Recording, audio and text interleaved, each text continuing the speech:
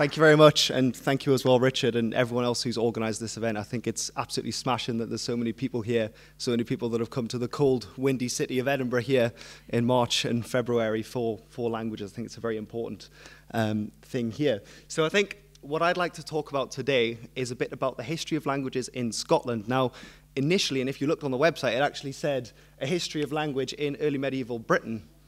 And then I thought, ooh, what have I done?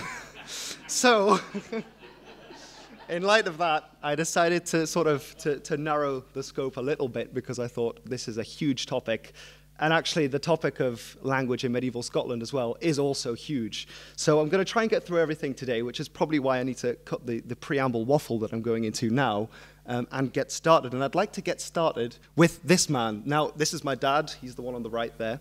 And. And this is a little piece of revenge because he is a lecturer at the University of Northumbria. And uh, since I was a very, very small boy, about that high, me and my brother have always featured in his lectures. And I thought, you know what, I'm giving a talk, it's payback time. So I have this image of my dad here.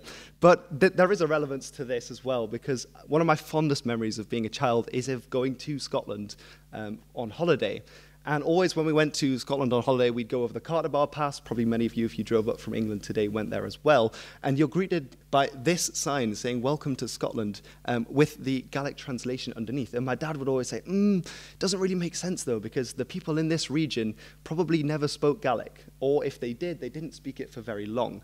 And that kind of got my mind going because to me, Scotland had always been a Celtic country. That's always what I thought of. I thought of tons, I thought of bagpipes, I thought of Gaelic and all of these things. Um, but this kind of changed me. Now, this as well, we always listen to the Corries. I'm not sure people of a particular generation from Scotland might know the Corries.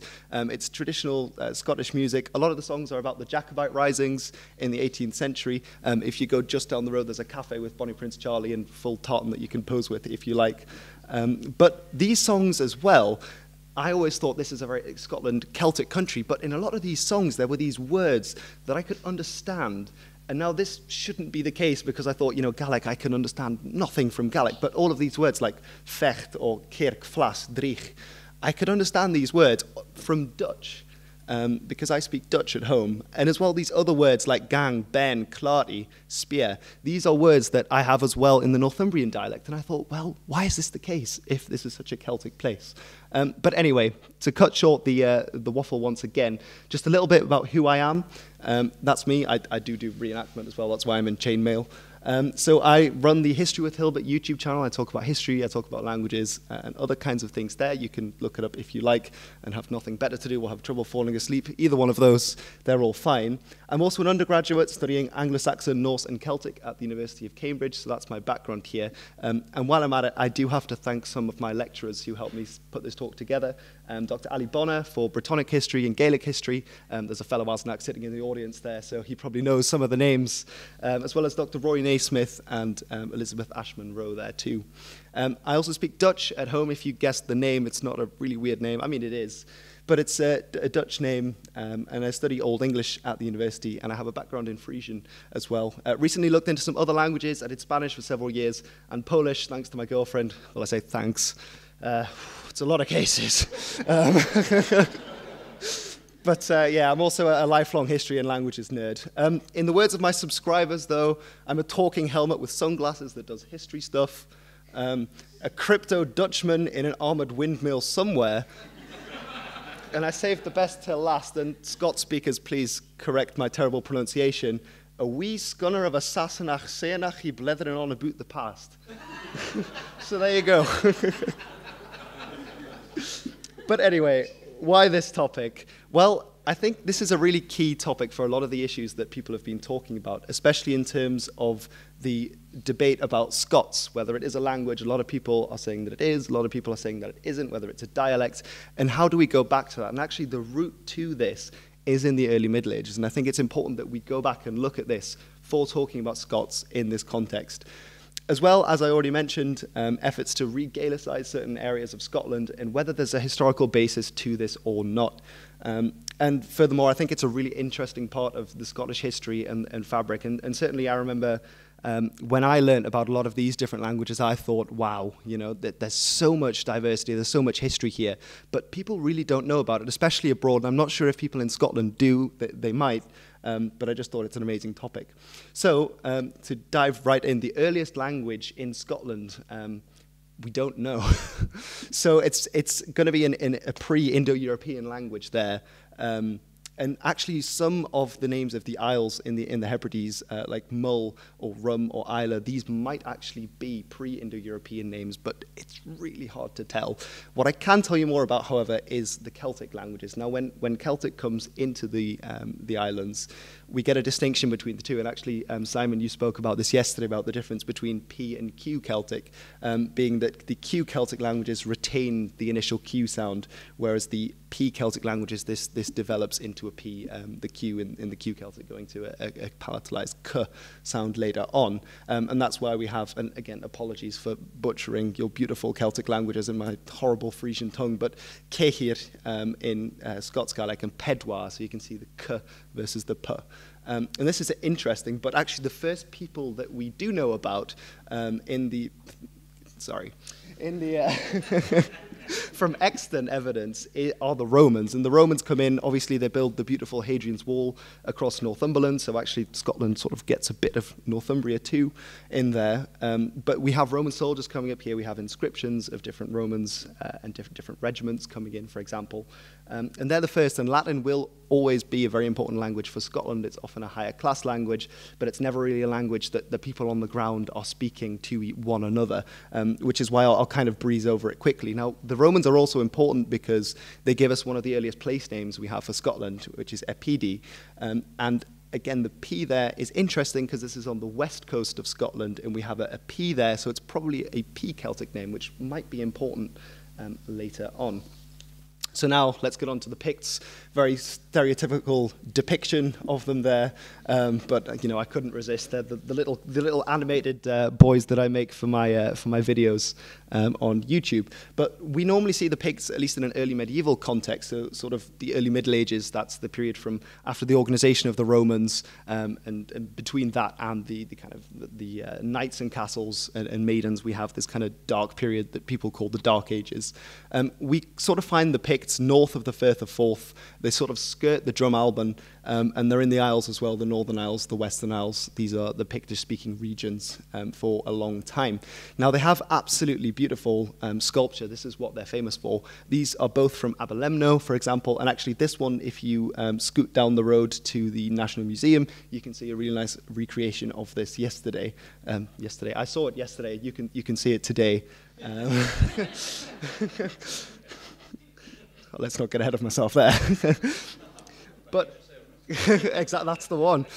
But um, unfortunately, there's, there's no language on these. So absolutely beautiful, um, but there's no written language, which is a real shame because the debate about the Picts has been fiery and furious for many years.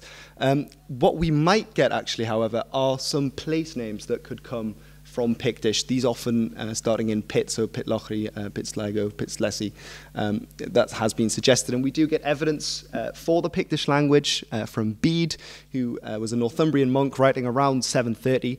And he says, At the present time, there are in Britain, in harmony with the five books of the divine law, five languages and four nations English, British, Irish, and Picts.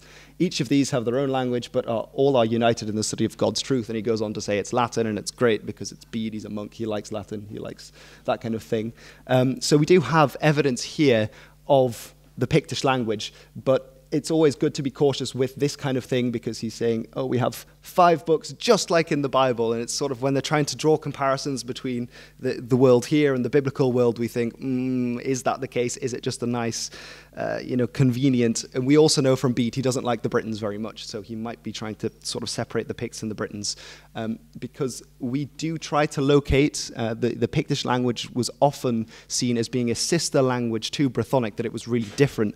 But actually, recent um, research done by um, Guto Rhys um, indicates that it's probably a daughter language. So, so um, a similar relation uh, with Cumbric, which we'll get onto later, um, Welsh and Cornish. Um, I do actually have, um, which my girlfriend mocked me for relentlessly, a, a handout um, with several of of the uh, the things that I'm that I'm talking about, several of the sources. So if anyone wants a handout, you know, see me at the end. Um, I've got a lovely pink folder there that I can uh, that I can open up for you, or I can email you one as well if you'd like. Um, so we sort of we see the, the distinction between P and Q Celtic. Um, the traditional view is that the, the distinction there is um, that we get Q Celtic in Ireland and P Celtic in Britain, um, and that the reason that we then get Q Celtic, because of course uh, Scots Gaelic is a Q Celtic language in Scotland, is due to migration that occurs in the 5th century and the 6th century uh, from Ireland well after the fall of the Roman Empire. Um, but is this the case? Spoilers. um, so to move forward, um, I'm now going to take a look at the Gaels, who um, are often associated with Ireland, and the region that we associate them with is the area of Argyll um, on the, the western coast here. Now they do, of course, later move on into other areas, but for a long period in the early Middle Ages, they are on this area in Argyll um, there. Uh, now let me think what's ah, yes. And most of the time people do think that the scholars have indicated traditionally that this is due to a migration. We also get uh, sources uh, that suggest this but these sources are all from a later period that say that the sons of Erc uh, they come over and, and they form the different uh, kin groups of uh, the, this kingdom called Dal Riada which spreads over both. Now we locate the language that they spoke Goidelic um, it's often called Old Irish at this time I've, I've called it Gaelic to, to keep things sort of simple, but a lot of these terms have old or middle and are, are we sort of sweeping through a lot. And so they're related to the other languages. So as I spoke about Pictish earlier, being P Celtic, Brythonic, um, and you've got Cumbric and Welsh and Cornish today as well. Um, so they're, they're related languages, but they're in a separate group. There's Q Celtic group. Um, that's there. But recently it's been called into question whether there was this migration by Ewan Campbell. Um, also on the handout, there's uh, Were the Scots Irish is, is the famous uh, paper that he published. And basically, he said that actually the evidence on the ground for such a migration in this period isn't really there. Um, because often when we have a migration, for example, like the Anglo Saxons, we see the material culture in the ground changes, the jewellery changes, but we don't really see that in, in uh, the area of Argyll. Um, furthermore, you get the forts that they're building in Ireland. Um, they don't really bring them over to Scotland. You don't ever find evidence for sort of the Rath and the Cashel, which you'd expect if there's new people coming and conquering a new area.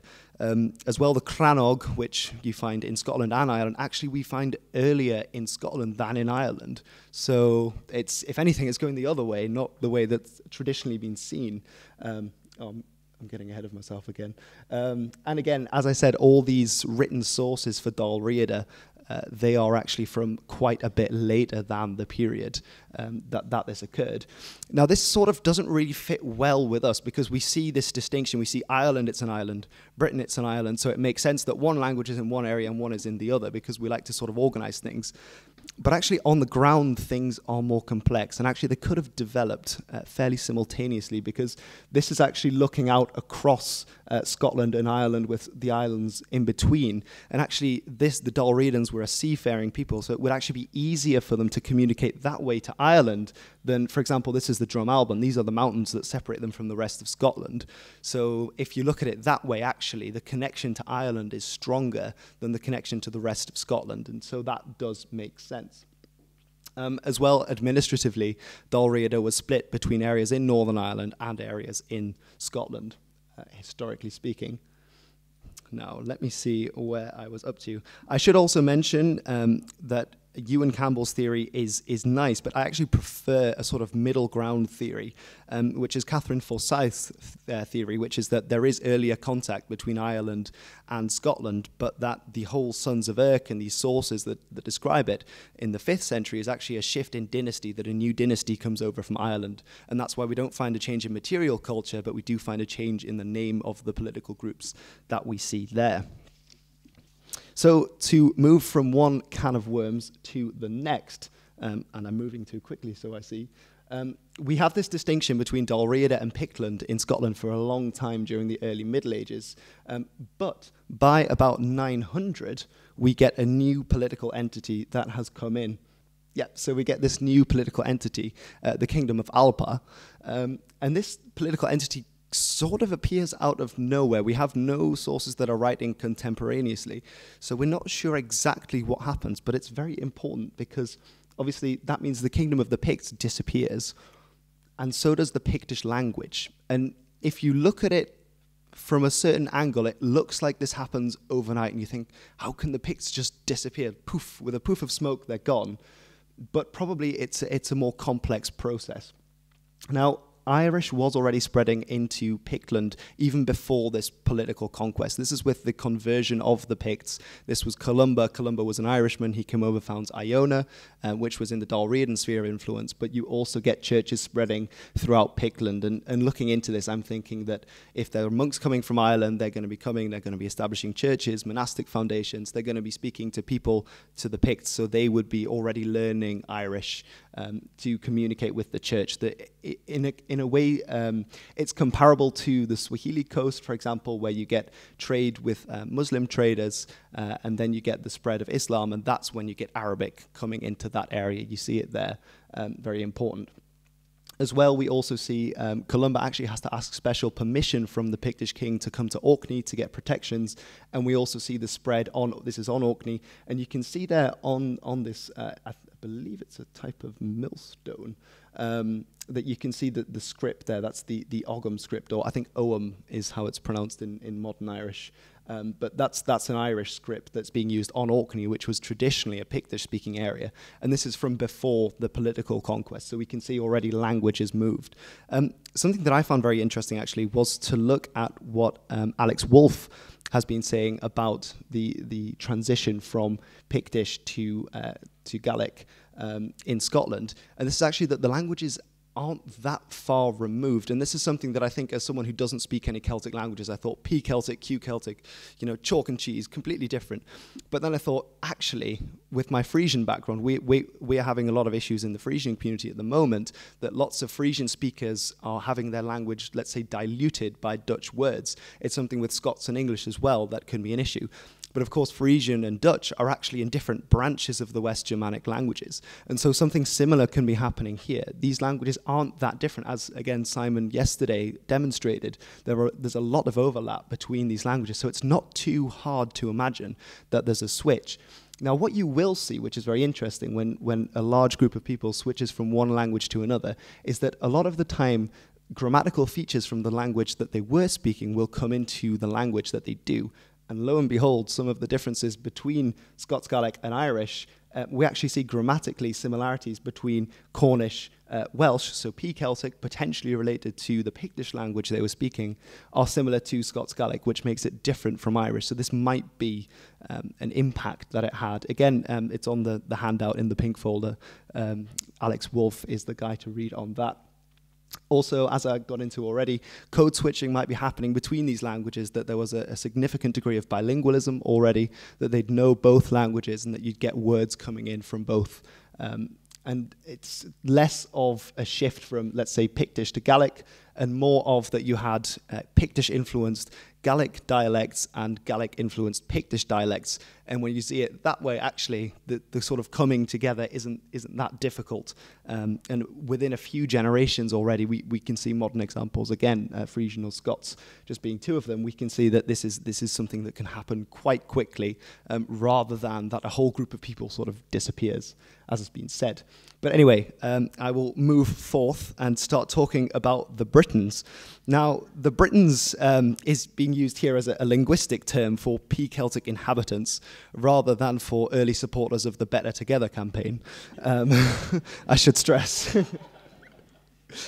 Um, so the Britons are very interesting. Now, of course, as I said already, um, the P Celtic languages were all throughout Britain, but the Romans divide this up. So we, we locate the, the Britons in Scotland at this time. We, we separate them from the Picts. Um, so it's below the Firth of Forth. Um, and we also have this dividing line in Galloway. There's um, Gaelic influence in Galloway, later Norse influence as well. Um, so we sort of find them in, in the south of Scotland for a long time. Now, this is Dumbarton. Now, on, I believe it's on the right rock there. That was where the fortress of um, Dumbarton, uh, very important fortress for the Britons of Strathclyde. Um, and this is the important British kingdom that lasts the longest. Now, um, yesterday, I'm not sure if the lass is still there who asked the question about Cumbric, um, but yesterday there was a lass who asked the question about Cumbric.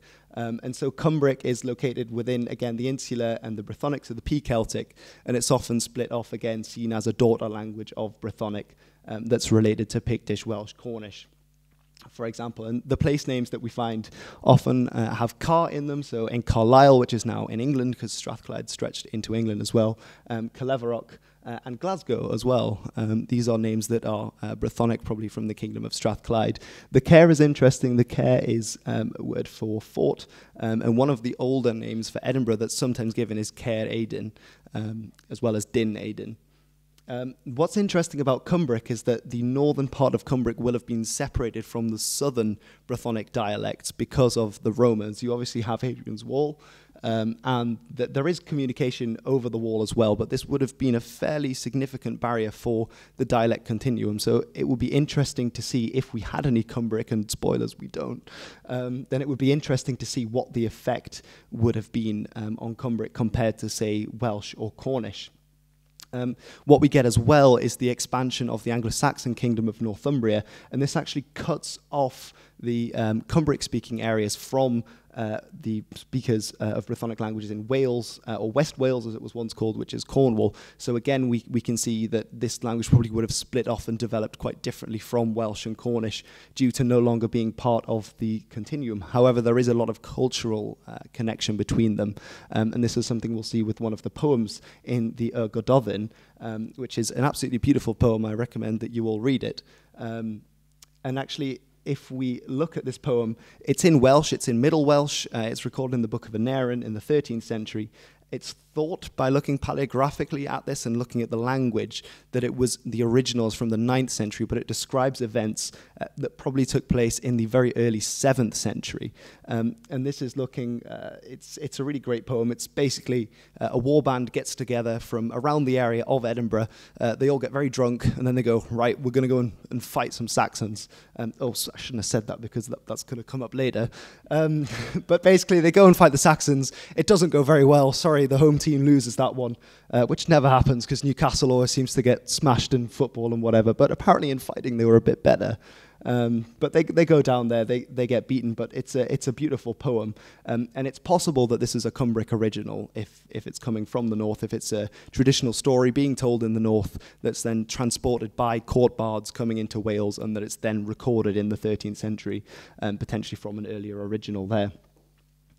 Um, now, the Vikings, they also play an important part in this, and actually in 870, there's a very devastating raid on uh, Dumbarton. They capture the British king and they take him to Ireland, sell him into slavery in Dublin, um, and, and he dies. And this actually causes a, a, great political upheaval. One of the things that we see uh, as a result of this is that um, Gaelic place names start to move southwards around the area of Lomond that had been a Brythonic speaking area. We find place names, and often, if you find place names changing, it indicates speakers are changing language as well well.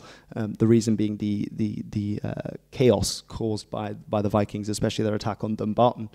But what we also find is that a century later, in the uh, 10th century, we actually get Brythonic place names moving south. So this seems to be a whole area of speakers on, on the move in a way which is very interesting because they then move into parts of England today. Um, Cumbria actually is from the same root as Cymraeg, as, as Wales. The Cymry uh, are the kin. So the Cumbrians and the Welsh are really, they go way back um, in a way, which is a very interesting distinction. But in the 11th century, we get the kingdom of Alba. It annexes Strathclyde, um, and this signals the, the beginning of the end for the Brythonic speakers of Scotland.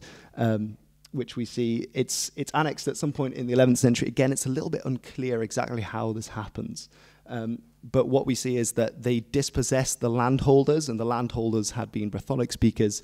They dispossess them um, with uh, people that they that they've imported from uh, from England. So people who were speaking Old Norse, uh, Scandinavians, uh, Norman French, people who were speaking Old English, uh, Middle English at this point, um, and that's why the the elite loses the Brythonic language, and at that point it's it's a slow decline for the rest speaking the languages, but just like with Pictish, it's very much possible that actually they, in pockets they were continuing to speak these languages, but these, these people would be invisible because if they're not writing it down, we don't know about it, which is unfortunate, but it's it's fun to speculate. And this might be again, um, as Simon said yesterday, in the north of England, that the way of counting sheep in the old Cumbric language, um, which is which is hilarious. You should definitely look it up if you missed that. Um, that that continued in certain rural communities as well with um, the Brythonic speakers there. But to return to the Gododdin, um, this is actually leading into my next point, which is that um, if they're who are they fighting in the Gododdin? It's the men of Bryneich, and I already spoiled this before, and I, I shouldn't have. Um, but if you see Bryneich, you'd think, oh, they're fighting more Britons. This is a Celtic name.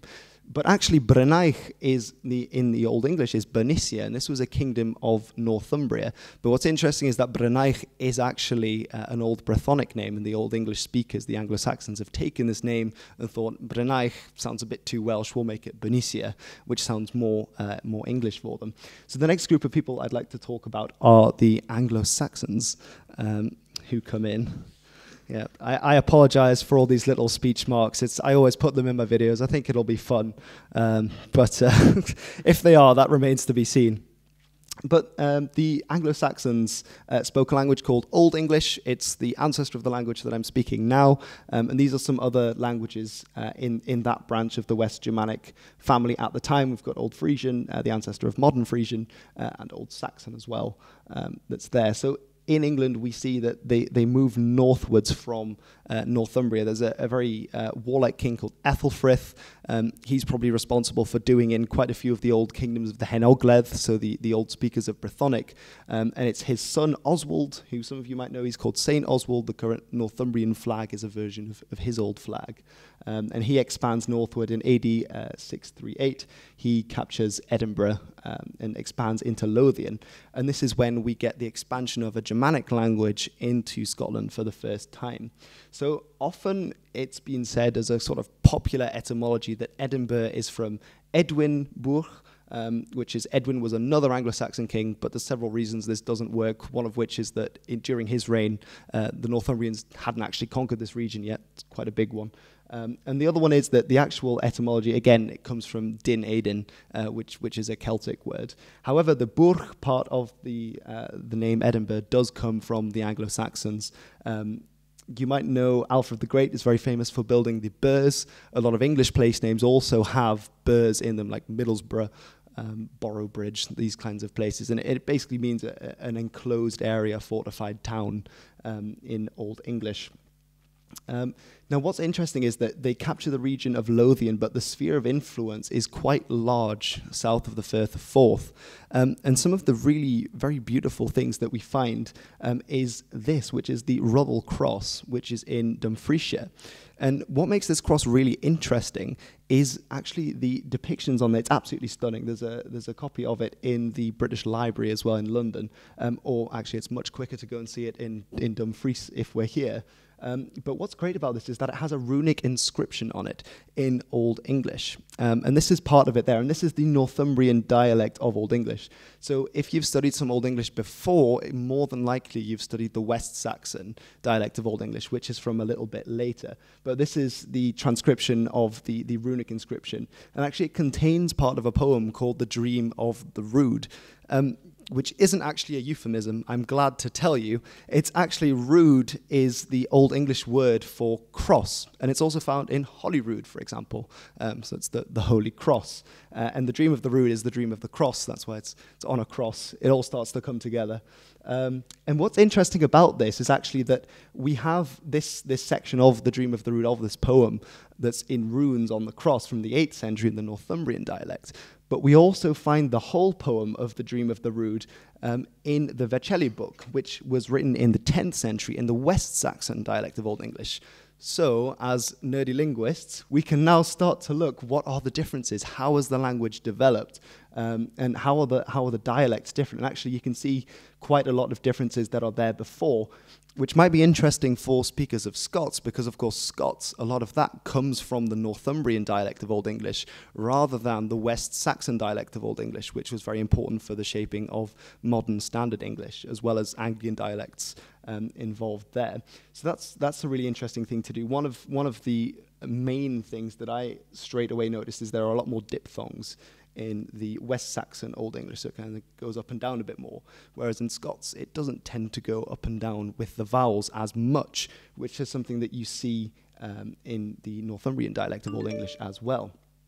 Um, now, another thing that's interesting for Scots and the Old English language is obviously that we get the expansion of the Northumbrians into Lothian, um, and this is when we get uh, the dialect of Old English coming up. But actually, we also get the Danish invasions of the Great Heathen Army starting in 865, and so we get lots of Scandinavians. Um, well, it's debated whether there's lots of Scandinavians, but their influence is very large. And so we get a lot of Scandinavian words um, and grammatical forms that come into the language there. Um, and they are very important for the modern English language as well. But what that basically means is that the densest area was more to the south of Northumbria, um, as well as the, the kingdoms of East Anglia and parts of Mercia as well. Um, and what this means is basically that there's a disruption of the dialect continuum.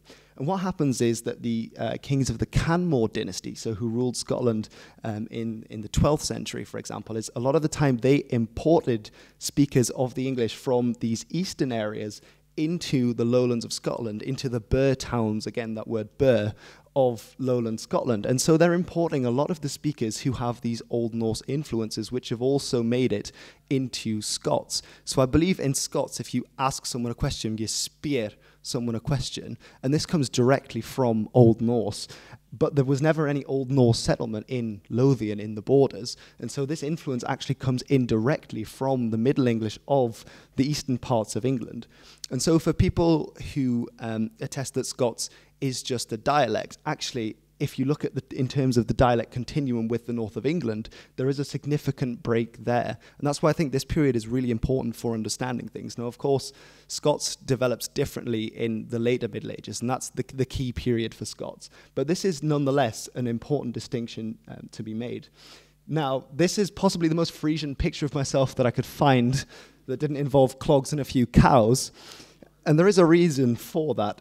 Um, now, this is because I would like to talk a little bit about the, the relationship between Frisian uh, and Scots and Dutch and English as well, because this is one of the things I noticed as a child. Um, now, these are actually different branches of the West Germanic languages. Now, English, Scots, and Frisian are all made up in the Anglo Frisian.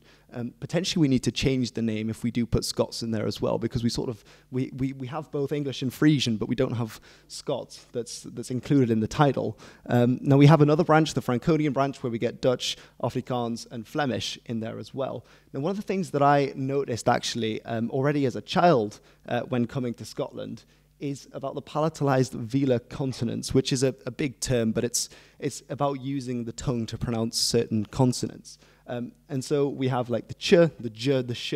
It's, it's utilizing the tongue when at the top of the palate, the top of the mouth, uh, when you're making them.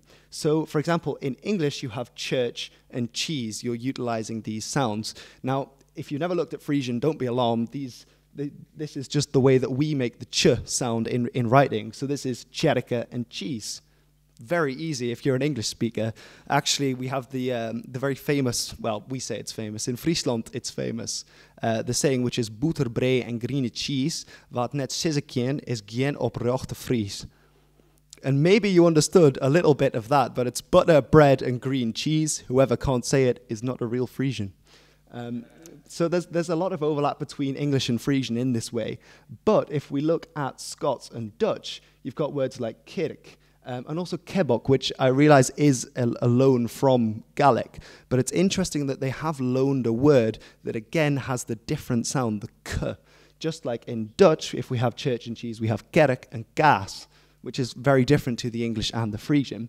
And this is probably due to later medieval contact with the Low Countries, with Flanders, for example. There's a lot of uh, wool trade that goes up and down the North Sea. There's a lot of immigrants that come from Flanders that settle here, and they probably reinforce these differences between Scots, between Frisian, between Dutch And that's there. So a lot of these words that I was picking up when I was listening to these old Jacobite songs, they could come in uh, from the Old English, from fecht, which uh, is, fight, um, or from vecht, which is the, the Dutch. And it could also be the case that it's both, because if you've got people coming over who go and they pronounce the word vecht, you're more likely to continue pronouncing the word vecht as well, because it makes it easier for them to understand. And money makes the world go round, as well as wool, because you know we're in Edinburgh, we all understand that wool is very popular, and it was back then too. Um, so, with that, I want to get on to the Norse. Um, I think that one went by a little bit quickly. Now, the Norse are, of course, famous for being very bloodthirsty Vikings, for coming in, for trashing the place, um, and then leaving the place in an absolute mess. But they are also very important for the history of languages. They bring an awful lot more than just sort of uh, pillaging and murdering. Now, they do definitely do pillaging and murdering as well. I do want to stress that. I'm not trying to take that away from their image. Um, which I think would be quite difficult, to be honest. Um, now, let me see. Yes, because in uh, 806, they, they sack Iona, they kill 68 members of the clergy there.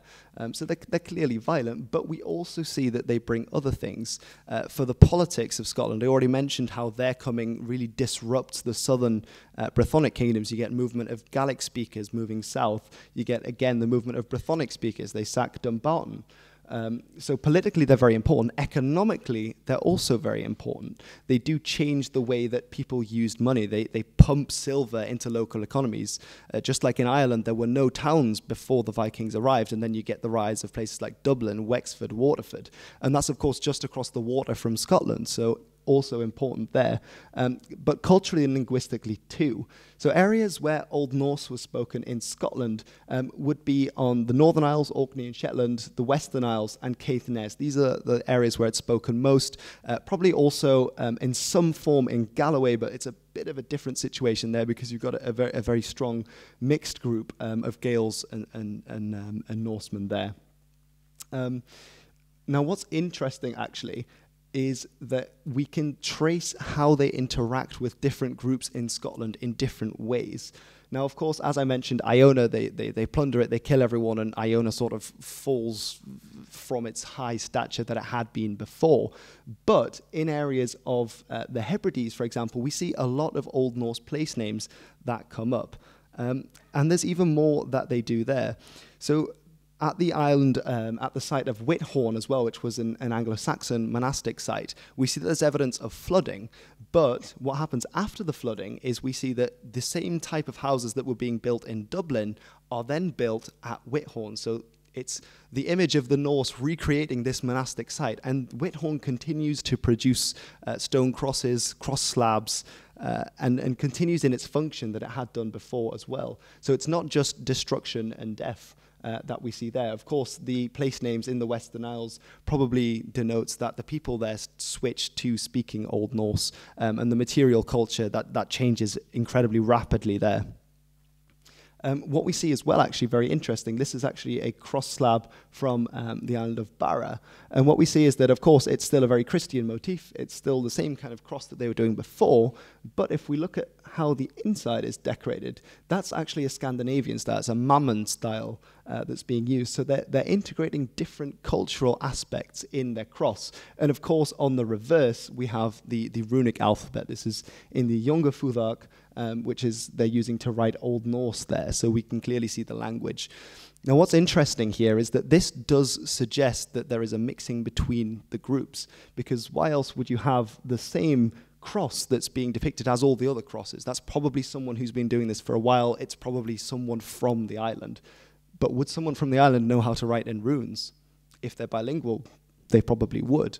Um, or it suggests that they're working together. So it's very interesting to, to use these uh, sources as, as clues for what they were doing um, on, on the island of Barra, for example. And we also get a lot of these smaller islands have uh, these Old Norse names, so names that end in, in A or Ui. Um, it's island in Old Norse. Um, that we see there. Now, the Norse, the Old Norse, actually comes from the North Germanic uh, branch of languages. This is the, the modern branch, the, the, the biggest languages that are spoken there, with West having Norwegian, Icelandic, and Faroese, uh, and East Danish and Swedish. But in the in the Viking age, this would have been the Old West Norse dialect and the Old East Norse dialect. And what's interesting is that these areas are, are where Old West Norse is being spoken. So from uh, Vikings, from Norsemen coming from Norway. Whereas these areas here, this was conquered by the Danes. It's the Danelaw uh, in England this was where speakers of Old East Norse were. So we can actually see some of the differences in how um, Old East Norse influenced modern English and Middle English, um, and then how Old West Norse influenced these other parts, which is an interesting distinction again when we look at the influences that later come in into Gaelic, for example, into Irish, um, as well as into Scots.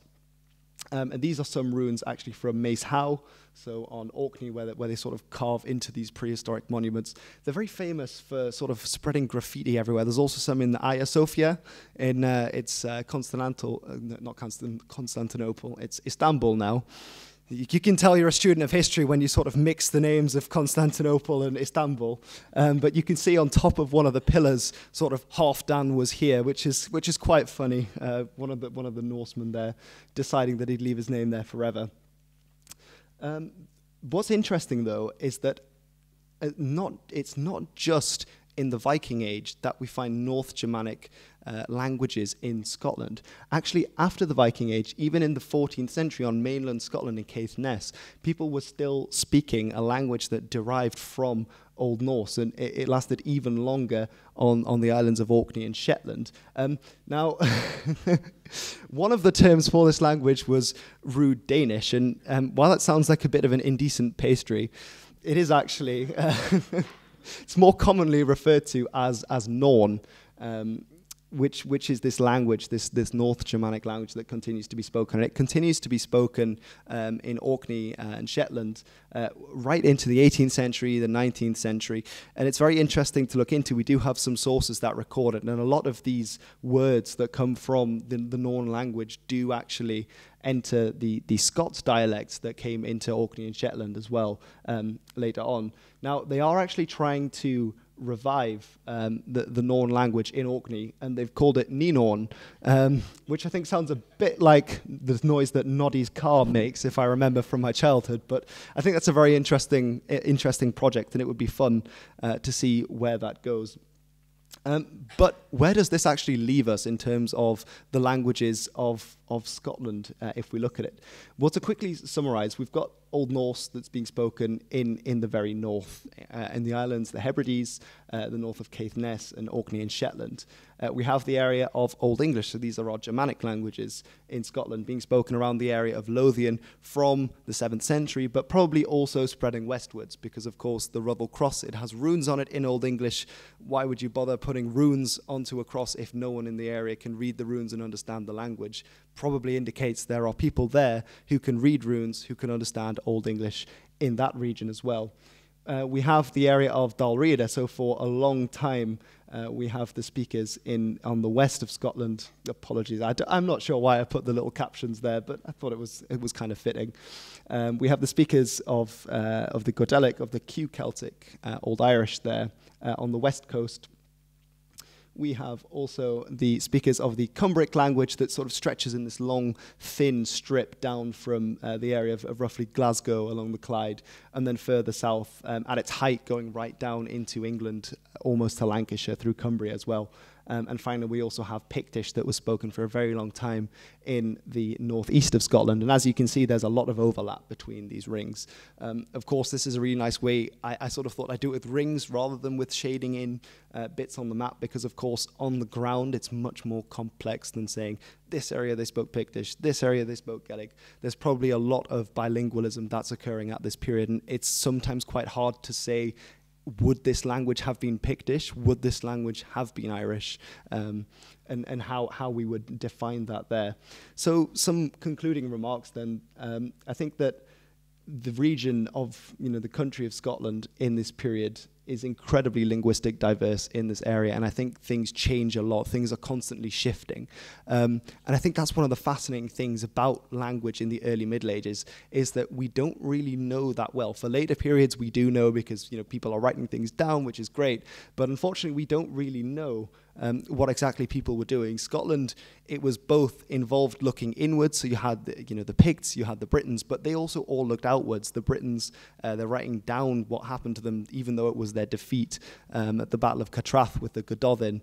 Um, we also have, of course, the, the Norse languages coming in. They're looking to Scandinavia for influences, for cultural influence. We have the Anglo-Saxons coming in. That connects them to the whole Anglo-Saxon world as well, um, as well as, of course, the Dalriadans who look to Ireland for their cultural inspiration. So there's a lot of um, it, it's definitely a, Scottish picture, but it's also a picture that looks very much outwards to different places for influences, which we can now all see in the languages that are still spoken in Scotland. Um, I think that an important distinction to make as well is that politics and languages are, as ever, very intertwined, and they certainly were back then. You see, with the rise and fall of certain kingdoms, you know, we, we find that Pictland disappears, and lo and behold, Pictish is gone too. We find the rise and fall of uh, the Brythonic kingdom of Strathclyde also coincides with when we hear that they're speaking a British language in these areas. So that's very important. I think that's there's something to be told about that today as well. That politics and language are certainly very much connected, whether we want them to be or not. Um, but of course, religion and trade very important as well, as we saw with the spread of Irish into Scotland, uh, as we saw with uh, Flemish merchants coming and trading in wool. These are all important things. Um, who people are interacting with, which languages they speak, and how this shapes the way they speak and which language they decide to speak. And finally, as well, I think, um, especially from from reading through Alex Woolf's uh, work on uh, the languages of Pictish uh, and Gaelic and how they interacted. I think a lot of the time we get very hung up on language, dialect, and the distinction between them. But actually, I think I would propose that it's probably easier to think more in terms of a sliding scale when we're talking about these because everyone speaks a language in their own ways. Groups of people speak them very differently. And I think historically this makes the picture a lot clearer if we think of people who are speaking languages, yes, that are different from other people, but who are also borrowing influences, who are also constantly evolving and adapting what that language actually is and how it changes. And I think that does explain quite a few of the changes that we see in the early Middle Ages there. All right, so thank you very much for listening.